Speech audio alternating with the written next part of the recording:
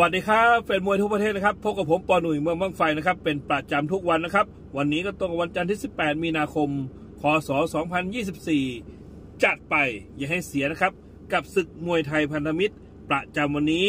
ณเวทีมวยกองทัพอากาศดอนเมืองนะครับ จัดโดยโปรโมเตอร์กลุ่มพลังใหม่นะครับนำโดยเสียสมหมายสกุลเมตตาใจถึงพึ่งได้ต้องเสียสมหมายนะครับ จัดมวยดีราคาถูกให้แฟนหมัดมวย ชมกันอีกแล้วครับท่านมวยเริ่มทำการแข่งขันก็เวลา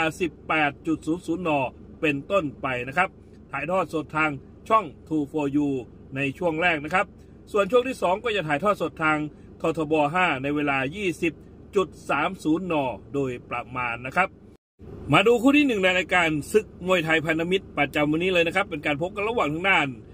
F1 เพชรมวยไทย หรือแสงทองขาแก๊สนะครับ นักชกจากจังหวัด นครราชสีมาหรือเมืองโคราชนะครับ แต่ถ้าว่าซ้อมในค่ายมวยธรรมศาสตร์คลองหลวงลังสิตนะครับ วันนี้เจอทางด้านเดชนรงค์บีเอสมวยไทย หรือสอเทรพัฒน์หรือสิทธิ์แก้วประยูนนะครับ นักชกจากจังหวัดพัทลุงซ้อมในค่ายมวยพยักกันทรนะครับ ที่จังหวัดพัทลุง วันนี้ชกกันในพิกัด 112 ปอนด์เมื่อเช้านี้ทางด้าน F1 เพชรมวยไทย ชั่งน้ำหนักได้ 112.6 ลดไปจุด6นะครับ ส่วนทางด้านเดชนรงค์ BS มวยไทยนะครับชั่งน้ำหนักได้ 115 ปอนด์ลดไป 3 ปอนด์เลยนะครับ นี่คือการชั่งน้ำหนักเมื่อเช้านี้ของทั้งคู่ ที่เวทีมวยกองทัพอากาศดอนเมืองนะครับสำหรับสไตล์การชกของทางด้านเดชนรงค์ BS มวยไทยนะครับเป็นมวยซ้ายนะครับ จังหวะฝีมือครบเครื่องนอกได้ในดีครับ แล้วก็เป็นมวยที่ยืนระยะมั่นคงแข็งแกร่งครับ แข็งแรงครับนี่คือสไตล์การชกของทางด้านเดชนรงค์ BS มวยไทยนะครับ ส่วนฟอร์มหลังของทางด้านเดชนรงค์ BS มวยไทยนะครับสองฟอร์มหลังก็ไปชนะคะแนนไซบอกสิทธิ์เจ๊ไก่นะครับเมื่อวันที่ 21 มกราคม 267 ที่ราชดำเนินไฟต์ล่าสุดนะครับไปชนะนกมงคลชัยเกียรติชัยวัฒน์เมื่อวันที่ 12 กุมภาพันธ์ 267 ที่ธูปะเตมีย์นะครับ นี่ก็คือฟอร์มหลังของทางด้านเดชนรงค์ BS มวยไทยนะครับ เดี๋ยวเราไปดูสไตล์การชกแล้วก็ฟอร์มหลังของทางด้าน F1 เพชรมวยไทยกันบ้างนะครับ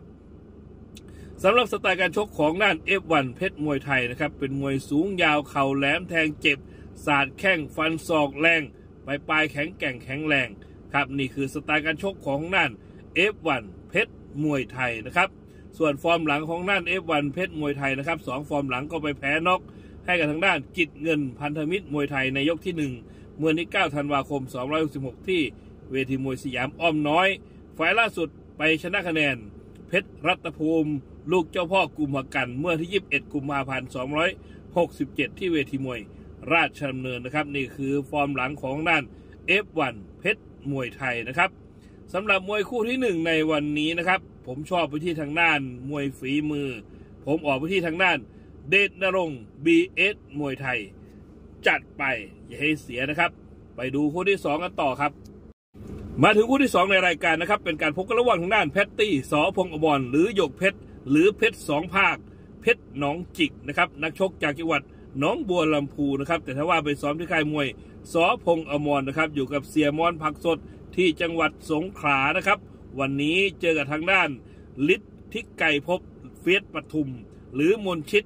นนทพัฒน์มวยไทยยิม หรือศิลาเพชรศูนย์กีฬาตำนานนะครับ เป็นนักชกจากจังหวัดพัทลุง ซ้อมในค่ายมวยเฟียสปทุมที่ปทุมธานีนะครับ วันนี้ชกกันในพิกัด 124 ปอนด์เมื่อเช้านี้ทางด้านแพตตี้สอพงอมรชั่งน้ำหนักได้ 124.8 ลดไปจุด8นะครับ ส่วนทางด้านฤทธิไกรภพเฟียสปทุมนะครับชั่งน้ำหนักได้ 124.4 ลดไปจุด4ครับนี่คือการชั่งน้ำหนักเมื่อเช้านี้ของทั้งคู่ ที่เวทีมวยกองทัพอากาศดอนเมืองนะครับสำหรับสไตล์การชกของทางด้านฤทธิไกรภพเฟียสปทุมนะครับ ก็เป็นมวยบู๊นะครับ เป็นมวยซ้ายครับเข่าในเหนียวแน่น ล็อกตีเหนียวแน่น แล้วก็ศอกแรงอาวุธหนักแรงทุกลูกทุกดอกลุ้นนับลุ้นน็อกได้ตลอดนะครับ นี่คือสไตล์การชกของด้านฤทธิไกรภพเฟียสปทุมนะครับ ส่วนฟอร์มหลังของด้านฤทธิไกรภพเฟียสปทุมนะครับสองฟอร์มหลังยังสะกดคำว่าชนะไม่เป็นเลยนะครับ แพ้น็อกให้กับทางด้านกลางปีน้อยพีเคแสนชัยมวยไทยยิม ในยกที่ 4 นะครับ เมื่อที่ 9 ธันวาคม 266 ที่อ้อมน้อย ไฟต์ล่าสุดนะครับ แพ้คะแนนเกียรติศักดิ์พยักกันทรนะครับ เมื่อวันที่ 15 มกราคม 267 ที่ธูปะเตมีย์นะครับ นี่ก็คือฟอร์มหลังของทางด้านฤทธิไกรภพเฟียสปทุมนะครับ เดี๋ยวเราไปดูสไตล์การชกแล้วก็ฟอร์มหลังของทางด้านแพตตี้ส.พงษ์อมรกันบ้างนะครับ สำหรับสไตล์การชกของทางด้านแพตตี้ส.พงษ์อมรนะครับ เป็นมวยครบเครื่องครับ เป็นมวยบู๊เตะขาเจาะยางต่อยหมัดแรง ฟอร์มสดกำลังห้าวกำลังได้ใจครับนี่คือสไตล์การชกของทางด้านแพตตี้ส.พงษ์อมรนะครับ เดี๋ยวเราไปดูฟอร์มหลังของด้านแพตตี้กันบ้างนะครับ ต้องบอกว่าสดจากขั้วสดจากเตาเลยนะครับห้าฟอร์มหลังนี่ไร้พ่ายนะครับ วันนี้จะทำสถิติต่อ ได้หรือไม่ก็ต้องติดตามนะครับ วันนี้จัดไป 2 ฟอร์มนะครับ ก็ไปชนะคะแนนเพชรเอียดนางลาดนะครับ เมื่อวันที่ 20 ธันวาคม 266 ที่ราชดำเนิน ชนะนอกสิงสั่งป่าลูกบุญมีในยกที่ 5 เมื่อที่ 31 มกราคม 267 นะครับ ที่เวทีมวยราชดำเนินนะครับ นี่ก็คือฟอร์มหลังของทางด้านแพตตี้ส.พงษ์อมรนะครับสำหรับมวยคู่ที่ 2 ในวันนี้นะครับต้องบอกว่าใครน็อกใครนะครับ แต่ถ้าว่าผมชอบไปที่ทางด้านฤทธิไกรภพเฟียสปัทุมนะครับ วันนี้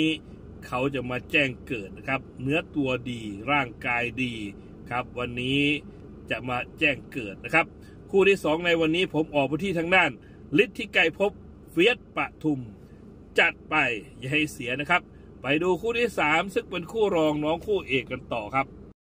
มาถึงคู่ที่ 3 ซึ่งเป็นคู่รองน้องคู่เอกในวันนี้นะครับ เป็นการพบกันระหว่างทางด้าน ฉลามทอง สิงห์มาวิน หรือฉลามขาว ลูกคลองตัน หรือสิทธิ์ฉลามขาวนะครับ เป็นมวยมาแทนเดชอนันต์วอเวียงสะนะครับ แต่ถ้าว่าทำการฟิตซ้อมอย่างต่อเนื่องนะครับ เป็นนักชกจากจังหวัดสงขลาซ้อมที่ค่ายมวย สิงห์มาวินนะครับอยู่ย่านรามอินทราซอยนวลจันทร์นะครับ โดยมีเสียหนึ่ง สิงห์มาวินนะครับให้การสนับสนุนและก็ดูแลเป็นอย่างดีนะครับ วันนี้เจอกับทางด้านเพชรเอกสิทธิ์บิ๊กแจ๊ดคนรักปทุม หรือโรงเรียนธรรมศาสตร์คลองหลวง หรือพอหลักบุญนะครับ นักชกจากจังหวัดปทุมธานีซ้อมที่ค่ายมวยธรรมศาสตร์คลองหลวงนะครับ วันนี้ชกกันในพิกัด 111 ปอนด์นะครับ เมื่อเช้านี้ทางด้านฉลามทองสิงห์มาวินชั่งน้ำหนักได้ 109.8 ขาดไปจุด2นะครับ ต่อน้ำหนักให้ทางด้านเพชรเอก1ปอนด์นะครับ ชกกันในพิกัด 110 กับ 111 นะครับ เมื่อเช้านี้ก็ขาดไปอีกจุด2นะครับ ถือว่าต่อ 1.2 เลยนะครับ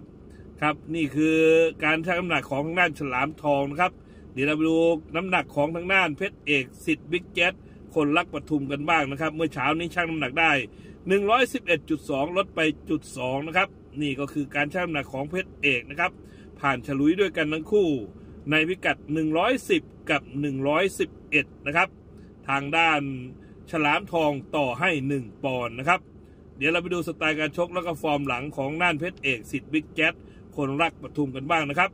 สำหรับสไตล์การชกของด้านเพชรเอกสิทธิ์บิ๊กแจ๊ดคนรักปทุมนะครับก็เป็นมวยซ้ายฝีมือครบเครื่องเปิดเกมเตะขาต่อยหมัด แรงขวางหน้าดันแทง ฟอร์มสดฟอร์มห้าวครับนี่คือสไตล์การชกของด้านเพชรเอกสิทธิ์บิ๊กแจ๊ดคนรักปทุมนะครับ เดี๋ยวเราไปดูฟอร์มหลังของด้านเพชรเอกกันบ้างนะครับ ก็ไปชนะน็อกพลังทรัพย์ลานนา Homestay and Restaurant ในยกที่ 4 เมื่อที่20 มกราคม 267 ที่อ้อมน้อยไฟต์ล่าสุดไปชนะคะแนนเดชอนันต์วอเวียงสะ เมื่อวันที่ 12 กุมภาพันธ์ 267 ที่ธูปะเตมีย์ ครับเนี่ยคือฟอร์มหลังของด้านเพชรเอก สิทธิ์บิ๊กแจ๊ดคนรักปทุมนะครับ เดี๋ยวเราไปดูสไตล์การชกแล้วก็ฟอร์มหลังของน่าน ฉลามทองสิงห์มาวินกันบ้างนะครับ